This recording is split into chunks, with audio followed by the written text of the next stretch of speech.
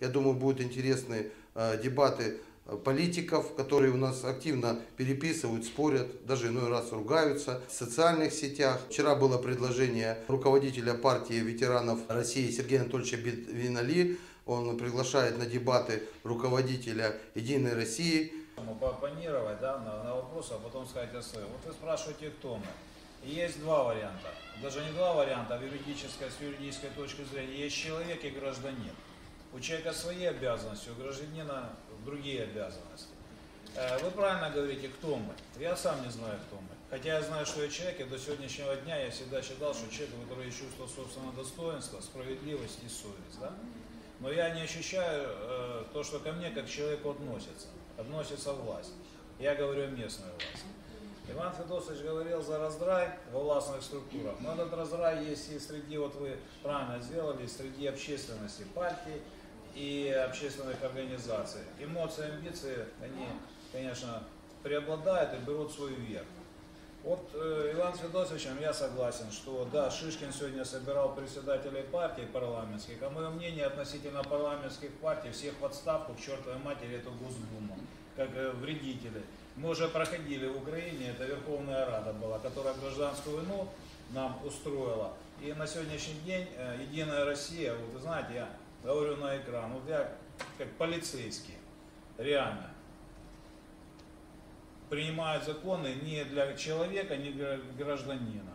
В дискуссионном клубе должны присутствовать э, представители власти, и законодательной, и исполнительной, и депутаты которые на сегодняшний день, к сожалению, управляют городом, пишут нам законы, непонятно какие, и все остальное. Вот у нас здесь пусть мало, да, единица Севастопольца. Вот скажите, кто верит э, в то, что губернатор избранный, это уже другой вопрос, каким образом, Овсяников и правительство Севастополя э, способны улучшить в самом прямом смысле жизнь севастопольцев и города. Есть такие? Поднимите руку. Я не вижу. А кто верит в то, что законодательное собрание наше, Севастополя, представляет наши интересы и делает все, что от них зависит в полной, ну, в полной мощи, э, ну, отрабатывая, да? Есть такие люди, кто это верит. И вот вы предлагаете их, ну, вот один человек уже хорошо. Я не говорю, что полностью все, но в основном, да. Ну, я закончу, хорошо. Ну, Между два слова. палаты прекрасно. Вот. Вот наша понятно. Вот как мы можем посадить эти две стороны, чтобы они между собой договорились, ну даже, предположим, они договорятся, но они же лучше не сделают ничего. Одна сторона ничего для нас не сделает, и вторая сторона ничего не сделает. Я возглавляю партию, мы очень много сделали, я вот взял с собой ответы которые мы делали запрос. Вот под предпринимателем. С вашего позволения, вот мы тут коснулись, да, я быстренько зачитаю. Это что мне пишет Пономарев. Ну вот что, мы пишем под предпринимателем. Вот мы говорим, что у нас предприниматели, да, они уничтожены. Вы говорите, севастопольцев э, после Великой ну, после освобождения осталось 4 тысячи. Никто не задавался, сколько севастопольцев сегодня осталось по сравнению с 2014 годом. Я делал докладную записку, залез в интернет хотел сделать сравнение, да, вы знаете, что я нашел? Во всех средствах массовой информации у нас, оказывается, в 2014 году, 2014 году, было, я совру на 3000, плюс-минус, не помню, 343 или 346 тысяч. Насколько я помню, я разговаривал с Алтабаевой, обсуждал этот вопрос, нас было 428 тысяч в 2014 году. Почему во всех средствах массовой информации 343 или 346. Но зато в 2018 году 446. Ну, опять же, плюс-минус 3000. Что это такое? Кто мне может объяснить? Давайте мы реально, мы делали опрос в течение полугода между собой, да, вот так сидели. Вот как вы думаете, сколько сегодня в Севастополе осталось населения от 428 тысяч? Я не говорю о приезжем, да? Все ясно. Вопрос был другой. Где-то 1250 в среднем. Коренного меньше. Еще меньше. Но теперь посчитайте, из 250 тысяч пенсионеров, ветеранов у нас сколько? 1150 было, да, там детей 1050 и тысяч, ну это грубо считаю, это так. И 1050 осталось, ну, взрослого населения работоспособного. А где все остальные? А население это миллион. До чего мы дошли? Еще ребенок, вот сегодня родился ребенок, на него уже считают, э, э, а миллион тридцать, ну пусть миллион, да?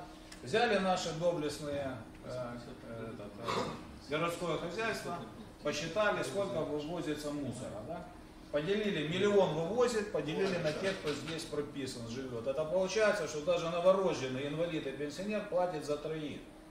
Ну, а теперь я вернусь. Значит, мы поднимали вопрос, что уничтожено НТО, средний бизнес и все остальное. А нам пишут, все классно, ребята, в городе Севастополе происходит постоянный рост количества субъектов малого и среднего предпринимательства. Только за 2017 год их количество выросло на 6% и составило по состоянию на 01.01.2018 24 622 субъекта малого и среднего предпринимательства. В том числе 8 тысяч юридических лиц и 16 тысяч индивидуальных предпринимателей. Ну мы взяли, посчитали. Пусть на каждого два человека работает, три, да, в среднем. Ребята, извините, 30, это 60, почти 70 тысяч населения работает. Что-то у нас не сходится цифра. Так как-то.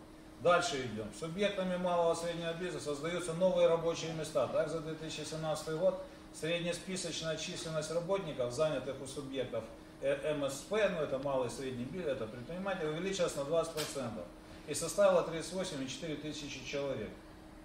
Дальше идем. Инвестиции в основной капитал малых предприятий 2017 года выросли на 66% и составили 1 миллиард 798 миллионов и такой, такой, такой, такой, такой бред, и 7 миллиардов тут какие-то идут. Ну, в общем, э, это все письма, эти же ответы идут правительства России, мне идут, потому что их запрашивают. Я понимаю, что это бред, я не могу возразить. Я к чему это все говорю? Я не хочу, чтобы в Севастополе эти люди управляли городом. Более того, не то, что я, мы, наша партия, нас пусть мало, э, нет Бориса Дмитриевича Колесника, который кричит, что у него там партия большая, там мертвые души. У нас есть 100 с лишним человек, но это те, которые есть, реально. Вот. Э, я не хочу, чтобы это правительство управляло городом. Я против, я наоборот, и мы наоборот выступаем за то, чтобы Овсянников ушел в отставку вместе с правительством. Далее, законодательное собрание тоже.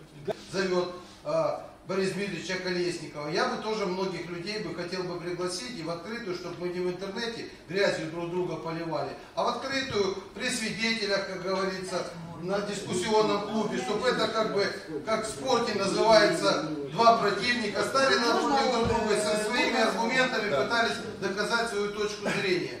Вот, чтобы это что как-то цивилизованным путем. Потому что в данном случае мы уходим, ну, все больше и больше бьем этого стекло, которое не склеит, и переходим уже на личности, на личностные оскорбления, вот после чего, как бы, говорить громкими лозунгами, вот, что мы севастопольцы хотим для чего-то объединиться, ну, достаточно трудно. Вот это, как бы, в рамках этого клуба мы попытаемся реализовывать. Естественно, я надеюсь, на следующих клубах ну, будут другие тем это все. Мы обязательно, Иван Петрович, обещаю, официально направим законодательное собрание и правительство. Если они, вот Борис Дмитриевич, я сегодня разговаривал, он четыре раза не придет, то есть, ну, тут политические партии, общественники, ну, бывают обстоятельства, там, мероприятие, заболел, подскользнулся. Если он 4, 5, 6 раз не придет, то можно сделать вывод, открыто встать. Вот вы, Сергей Анатольевич скажете, что боится партия власти к открытому диалогу с общественностью города Севастополя. Я вот хочу что сказать. Вот большое спасибо. Вот сейчас, например, уже вот сердце, которое у меня обледенело за счет того, что у нас сейчас два вражеских получилось лагеря, и весь город у нас наблюдает за этим.